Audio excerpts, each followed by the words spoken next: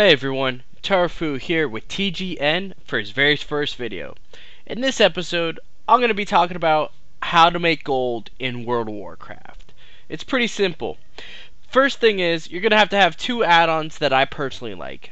Auctioneer and Trade Skill Master. You can find the links down below. And if you need help setting them up, you can check out my YouTube page at youtube.com forward slash Tarfu Gaming. First things first is I do a scan. And since this is my realm, I usually scan three times a day. But if you're going to a new realm and you want to try to play the economy on the new realm, you're going to want to uh, scan the auction house about three times a day for seven seven days, just to get the percentages and everything down. That's kind of how I do it. So there's my advice right there. All right, so let's jump right into it. All right, so right now I'm gonna show you basically enchanting the um the only stuff I usually sell with enchanting are scrolls. So it depends really on your realm. You just have to scope out your realm. That's the first thing. And for power torrents, I feel that it's a really good profit for if I'm just buying all my mats. But I usually don't buy my mats, IDE, jewel crafting items, and whatnot. Um, so basically, all the mats for Power Torrent come out to about 434 gold on my server. And Power Torrent Scroll sells for 1800 gold.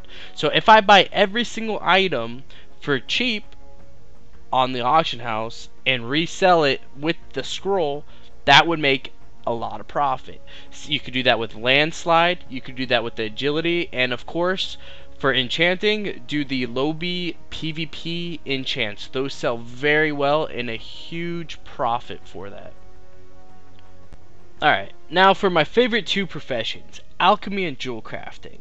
The very first thing is, for jewel crafting, I like to see what I could get Elementium ore for. Right now it's 52 gold, which I find very expensive. I buy for about 40 sometimes I could get for 25 it really depends on the day and who's really selling right now gems are really much down on my server because I haven't been playing the auction house on this server. It's pretty it's pretty hard because I got 13 characters I play uh, the economy on of different realms. So another thing is with jewel crafting for huge profit because you get ore for so cheap. You can make nightstone chokers, hessonite bands. You can make um, the pendants, the necklaces, basically anything, the Jasper rings, all that stuff. You'll make the jewel crafting, you'll DE it all on your enchanter, and then you'll have all those mats for scrolls or even to sell it. For alchemy, I'll transmute all my the rare gems or uncommon gems into either rare gems or meta gems, depending on how much everything's going for and what I feel comfortable selling it for. So if the my hype gems I sell are purples, oranges, and reds. So just keep an eye out on your realm to see how much red gems go for and how your gems go on your economy. Alright, for the most important part, basically my shopping list, what I think sells. Goldthorn is pretty much, in my opinion, the best item to sell because you need it to level up a few professions.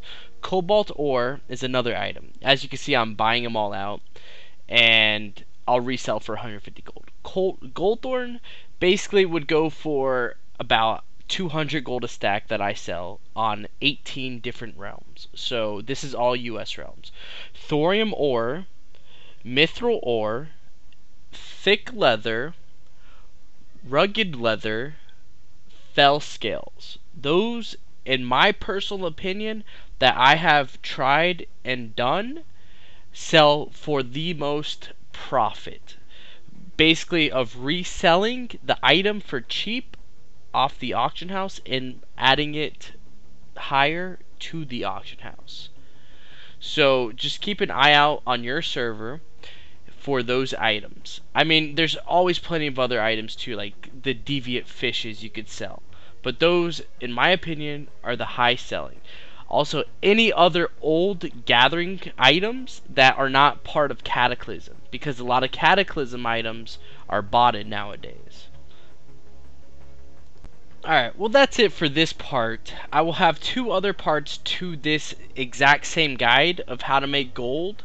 And if you have any questions, leave a comment down below basically, if you want something added to this guide of how I make gold just playing the auction house, I have other free gold guides on my YouTube page at Tarfu Gaming. Also, I did buy this mount while I was doing this video. I spent 200,000 gold on it. I love it.